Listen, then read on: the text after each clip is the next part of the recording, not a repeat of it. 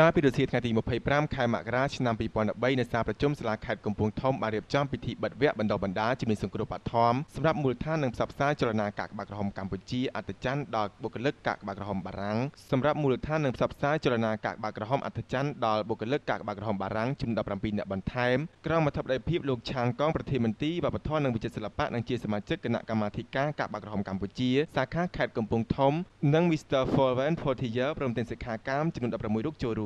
លោកកៅសម្បូរនាយករងសាខាបានដឹងថាការបាក់វគ្គបណ្ដុះបណ្ដាលនេះមានសិក្ខាកាមចំនួន1នាក់ប្រុស13នាក់ស្រី9នាក់ដែលបរៀនដោយលោកគ្រូហែមកំសានជំនួយការមន្ត្រីគម្រោងវិជាសង្គ្រោះបឋមក្រោយពីបានធ្វើសំណួរនិងប្រឡងអនុវត្តជាក់ស្ដែងសរុបលទ្ធផលទទួលបាននិទេសល្អ10នាក់ល្អបង្គួរ4នាក់មធ្យម3នាក់ការបាក់វគ្គបណ្ដុះបណ្ដាលគឺដើម្បីលើកកម្ពស់ការយល់ដឹងអំពីវិជាសង្គ្រោះបឋមនិងជាការផ្សព្វផ្សាយវិជាសង្គ្រោះនេះដល់សំណាក់មូលដ្ឋានមន្ត្រីរាជការជាបុគ្គលិកយុវជននិងប្រជាពលរដ្ឋកាកបាទក្រហមកម្ពុជា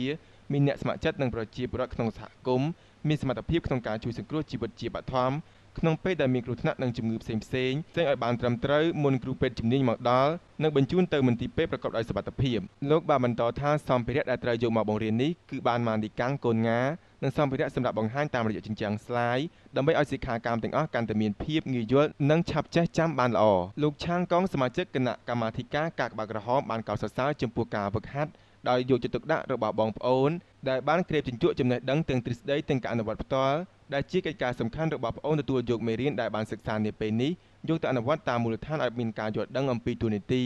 និងគោលការណ៍គ្រឹះនៃការសង្គ្រោះដូចជាដាក់ជនរងគ្រោះតាមស្ថានភាពដំណេកសភាពសណ្ដូកសន្លប់ពិបាត់ដង្ហើមស្លាក់របួសឬក៏មានករណីពោះចឹកធ្លាយពោះវៀនវត្ថុចុងជាប់រួមទាំងការហូរឈាម ការបាក់ឆ្អឹងនិងការបញ្ជូនជនរងគ្រោះទៅកាន់មន្ទីរពេទ្យឲ្យមានលក្ខណៈត្រឹមត្រូវ